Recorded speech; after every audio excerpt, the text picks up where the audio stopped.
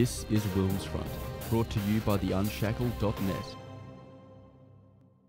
Now, before getting on to uh, tonight's uh, guests, I want to talk a bit about uh, banking uh, deplatforming. So, um, I think most of you might uh, recall uh, back in, in June, Australia's most prominent patriot activist, uh, Blair Cottrell, uh, he was uh, deplatformed by his Westpac bank. They said that they were closing his Westpac personal bank account uh, due to commercial imperatives and said we cannot disclose these.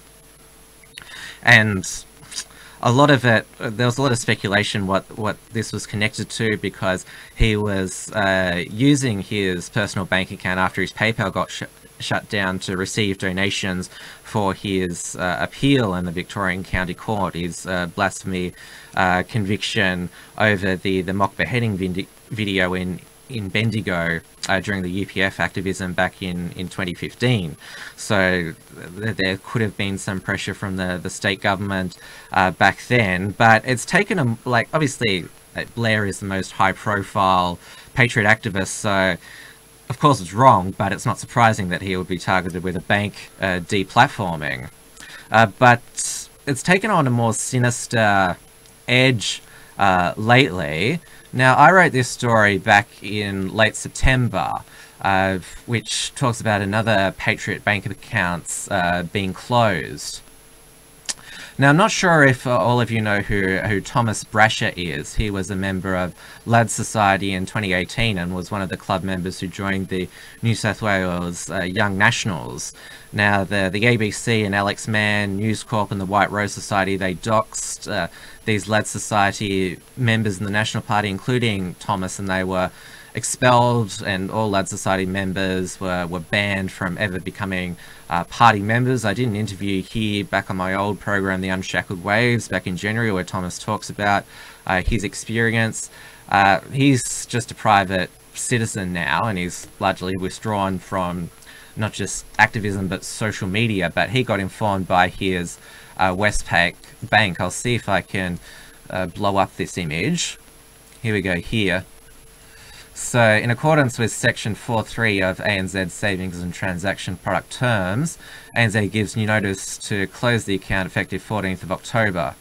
And it says, you may review the, goes down here, that yes, um, yeah, we cannot tell, it basically says we cannot tell you why we're closing uh, your account. Please note this decision is final and cannot be uh, reconsidered. Yours sincerely, ANZ Customer Maintenance Team. Now go back to the article. Let's see.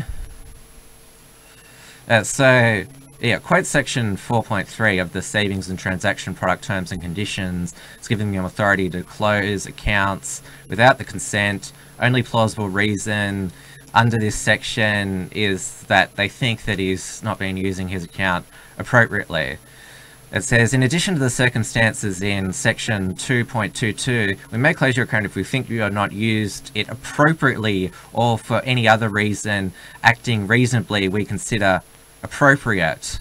So, yeah, they basically, they can decide at a whim there, ANZ with no recourse that they can just uh, close, close your account. And now it's just broken uh, today that uh, uh, primarily ANZ, but a few other banks are sending out uh, notices to a lot of other, uh, not just patriot activists, but those who've been associated with uh, the nationalist movement and their family members have been getting uh, letters stating that their bank accounts are going to be closed for un undisclosed uh, reasons. And I think it's worth here reading out a, a gab earlier today from uh, Blair Cottrell, who was the first uh, victim of this uh, deplatforming. Because let's not remember, I mean, getting off, getting kicked off Facebook and Twitter and, and YouTube, social media, that's, well, it sucks, but you you can still live your everyday life. While banking is used for transactions all the time. You may use your bank account, your uh, debit card five, ten times a day. So it's essential service, and but uh, banks, of course, they're they're in this woke social justice age, and so they don't want horrible racists and fascists uh, using their uh, account. Uh, but of course, uh, if you go back to uh, just that article that I shared with you before, it also mentions that PayPal they were being investigated by the Australia's uh, transaction uh, regulator, the Australian Transactions Reports and Analysis Centre, uh, potentially uh, illegal financial activities uh, that they'd been uh, uh, uh they uh, PayPal had been used to facilitate child pornography payments, then you can probably guarantee that the the big banks they've probably still got child pornographers and and drug dealers using their their banking facilities, but they want to pick on these these evil fascists So I'll go back to what I was going to do reading Blair's uh. So here we go here bank account closures by ANZ, Commonwealth Bank and Westpac Banking Corporation in Australia. For the past four years, Victoria State Police have been seen filming political rallies and rally attendances with handheld video cameras. When questioned, police have said the cameras were for public safety. Over the past 12 months, dozens of people who've attended at least one rally against state policy, specifically immigration policy, or the, the multicultural agenda, have had their personal bank accounts closed for commercial reasons. Banks have stated they cannot provide further information. Over the past six months, family members and associates of rally attendees have also had their personal banking accounts abruptly closed by one of these three major banks, citing the same abstract reasoning. So far, only a few freelance journalists are trying to investigate this matter to discover whether or not state intelligence agencies such as ASIO or the AFP are involved in these account closures as the information necessary to know these identities and personal banking information of not just political activists but politically inactive family members and friends associated with open political activists that would probably have to come from one or both of these agencies.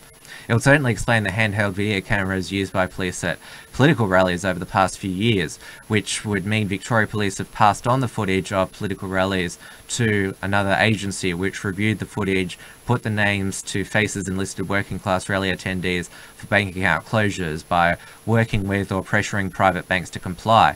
If there was a concern regarding extreme elements in political activism, then the censorship and bank account closures currently rampant in Australia would also have been affecting known members of Antifa and communist groups as well. Instead, communist agitators are being completely overlooked while right-wing and nationalistic activists being targeted exclusively for censorship and forms of terrorism, with even known associates facing bank account closures and social media bans. So give uh, that's obviously Blair's analysis of what's what's going on. He's he's certainly right that there's no outrage about this from the media or the, the politicians because remember the banks have been in uh, the news again this week. Remember there was a royal commission uh, into the banks dodgy dodgy practices uh, but uh, this gets no attention in committees or any investigations like that and the media is basically also deplatformed. Uh, nationalists don't want to give them a, a fair hearing because otherwise they'll get uh, uh, angry lefties on Twitter saying, uh, "How come you didn't call these people Nazis? Why why are you uh, sympathizing with them?" Uh, basically. The the left they want patriot nationalist activists to be deplatformed from everything. They they're, they're probably celebrating these bank closures, probably want the electricity shut down to your house, the, the internet, your phone disconnected, or probably banned from even shopping for food. They basically just want uh, anyone they disagree with uh, destitute and uh, cl uh, close to a, a near impoverished uh, state. Now, is it the banks uh, doing it themselves, basically virtue signaling or being pressured by leftist activists or, or governments. It could be could be the federal uh, government or it could be the state government uh, because, uh, of course, we, we know that uh, Daniel Andrews' uh, state uh, government knows no, no bounds. But what can be done here? Well, basically, we're going to continue at the Unshackled to, to cover these bank account closures when they happen because it is an outrage. You, well, you, most people agree that you do need a bank account uh, every day, and uh, of course they're introducing the cash ban on on cash transactions over ten thousand dollars. So they want to prevent you from using large cash transactions, but they're also the banks are shutting down Patriots accounts. So what what are, what are you meant to do if you're just a working class patriot trying to put food on your family's table? Again, it sounds like they basically want want you to be destitute. So it's it's pretty disgusting, and certainly I hope that some action, some more scrutiny uh, can uh, be applied because how how how how can you be treated like this as a consumer that we're closing your account for a reason we can't specify. Goodbye. Uh, we don't ever want to deal with you again. I mean, you expect if somebody doesn't want to associate with you, they'll give you an explanation. That's only fair and decent. But you just get this letter saying, we have the authority to do this. We're shutting it down. Bye-bye. Go away. Uh, like, how, how is that fair to anyone? And of course, if Antifa or Communists or Extinction Rebellion uh, had their, their bank accounts uh, closed, uh, they'd be uh, they'd be screaming uh, blue murder. There'd be articles and the, the Age, the Guardian decrying this uh, deplatforming. they were being pressured by the the fascist government to, to do this. this would be a threat to free speech if this was happening, because of course, fr free speech is only what the the left deem acceptable and, and non-hate hate speech. So you definitely know it's happening to one side because all, all there is is just chatter online at the moment about Patriots' bank accounts being shut down. Of course, if it happened to Antifa and communists, uh, there'd be wall-to-wall media coverage. ABC would probably do a, a story on it. There, there, there might be a, a Triple J or background briefing uh, episode about it. So this is I, I would say the most sinister deplatforming initiative or action to happen to date, and I think it definitely warrants uh, more attention and warrants uh, more coverage. And so, uh, everyone, please um, uh, spread the word to to other uh, people in the the alt media that you know uh, to to make sure that as many people know that this is happening and it and it should not stand. This is Wilms Front brought to you by theunshackled.net.